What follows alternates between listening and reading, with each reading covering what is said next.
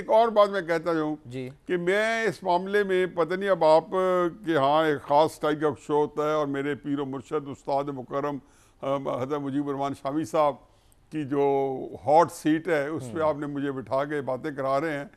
तो ये तरीके साहब को ये युकला है। ये आप देखेंगे कि ये वो जो कहते हैं ना कि वो खाली बर्तन बहुत खटकते हैं। ये अंदर से सारे खाली हैं।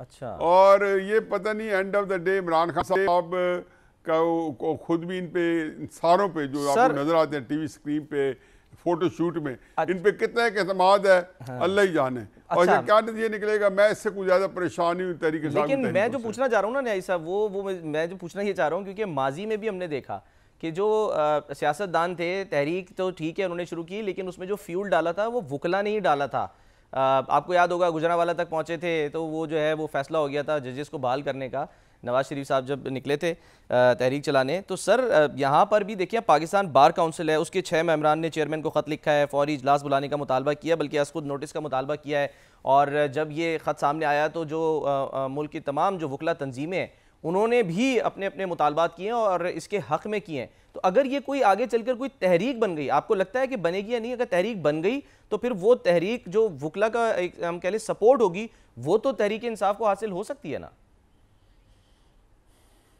देखिए जी बात यह है कि जो इफ्तार चौधरी साहब की तह, जो तहरीक थी जिसका आपने ज़िक्र ज़िक्र दिया किया कि जो गुजरा वाला पहुँच थी कामयाबी हमकनार हुई तो उसको तो क्रेडिट जाता है सिविल सोसाइटी को। वकला जो है जब उन्होंने शुरू की थी तो उसमें इतनी जान नहीं थी। सिविल सोसाइटी ने पहले दिन ही से साथ खड़ी हुई कि मैं तो उसके पहले दिन से हम रकाब रहा हूँ। कदम कदम उस तहरीक में उसके साथ चलता रहा हूँ। हम्म। अब इस सूरत हाल में इस वक्त बहुत सारे लोग हैं जो विकेट के दोनों साइड पे खेल रहे हैं। खसूस जो क्यादतें हैं चाहे बुकला की क्यादत है चाहे सियासतदानों की क्यादत है।